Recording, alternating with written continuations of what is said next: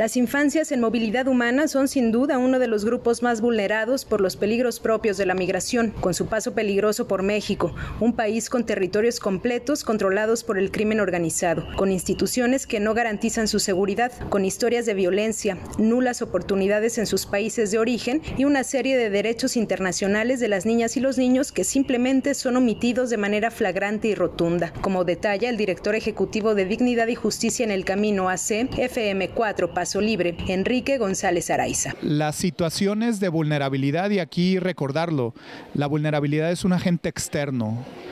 Hay un sistema que vulnera no es inherente como una característica y efectivamente las infancias en movilidad tienen mayor riesgo de vivir situaciones de vulnerabilidad, ¿no? Por su por esta propia eh, etapa formativa en la que se encuentran. Es en estos escenarios de negación de derechos que cobran relevancia organizaciones de la sociedad civil como FM4 Paso Libre, donde reciben a las personas en tránsito mientras resuelven su situación migratoria y donde desde 2019 opera el programa llamado Inclusión digna, que funciona como un espacio de cercanía con el aprendizaje para abonar a la regularización escolar, cuando aún con legislaciones que en teoría deben admitir a las infancias en movilidad en las escuelas públicas por el lapso de tiempo que estén en México, esto no sucede en la práctica. Atendemos a infancias en movilidad humana y como tal pues tratamos de generar proyectos que puedan eh, atender de una forma más integral su propia movilidad. ¿no? Es por eso que en el año 2019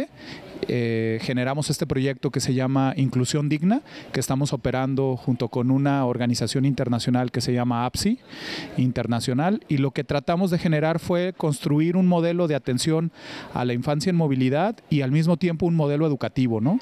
Pensar que nuestros espacios de atención humanitaria tienen que dejar al lado esta visión adultocéntrica de atención y enfocarse en una atención hacia las infancias. Y cuando se habla de las infancias, no solamente es tener como esto, un espacio de juego para ellas, sino que todos los servicios y atenciones tengan una mirada interseccional en pensar a la niñez eh, y a todas sus necesidades. La situación de las infancias en movilidad humana es tan compleja como las causas estructurales que obligan a las personas a huir de sus lugares de origen. Se van cargando en sus espaldas sus sueños y recuerdos, caminan con incertidumbre. Sin embargo, la etapa de la niñez hace su magia. Es cansado estar en tránsito, pero también encuentran espacios mejores, como el caso de Isaac, un niño de 10 años que está de paso con su familia en el albergue FM4. Festejó su cumpleaños en el tránsito de Estados Unidos a Jalisco.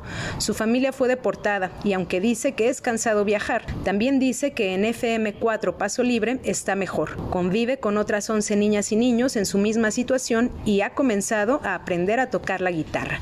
¿Cómo la has pasado? Cuéntame. Bien. ¿Qué has hecho? ¿En dónde has andado? Porque tú has andado de viaje mucho, ¿verdad? Platícame esta experiencia. Um, ¿Cómo de qué?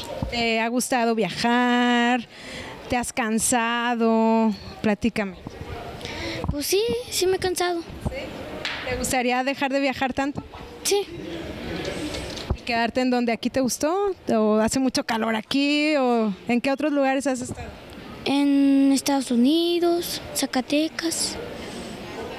Nomás ahí. Y aquí en Jalisco. Ajá. ¿Y de todos esos cuál te ha gustado más? Mm, aquí, aquí.